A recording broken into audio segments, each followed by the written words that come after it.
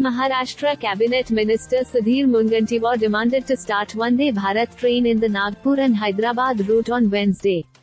In a written letter to Railway Minister Ashwini Vaishnaw, Sudhir Mungantiwar mentioned the flourished trade in the four districts of Nagpur, Gondia, Bhandara and Chandrapur from Maharashtra's Vidarbha region with Hyderabad in Telangana, Mungantiwar.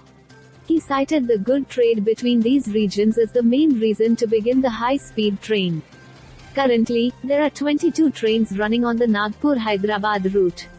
Addition of Vande Bharat train in the route will ensure covering 575 kilometers of distance in lesser time. Sudhir Mungantiwar also stated in the letter that Vande Bharat train will make it convenient for tourists, traders and entrepreneurs to travel in this area in shorter span of time. The beginning of Vande Bharat Express in the four districts in Vidarbha will benefit a large population in the state. Notably, Prime Minister Narendra Modi will inaugurate the sixth Vande Bharat train of India in Chhattisgarh on Sunday. The train will be functional on the Nagpur and Bilaspur route. The sixth Vande Bharat Express functional on the Bilaspur-Nagpur route will operate for six days in a week and will complete its one side of journey in five and a half hours. The train will have scheduled stops at Raipur, Durg and Gondia.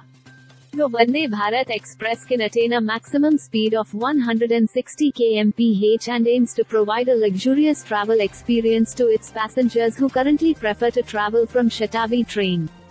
The train consists of a large number of state-of-the-art modern facilities and can reduce the travel time of passengers by 25% to 45%.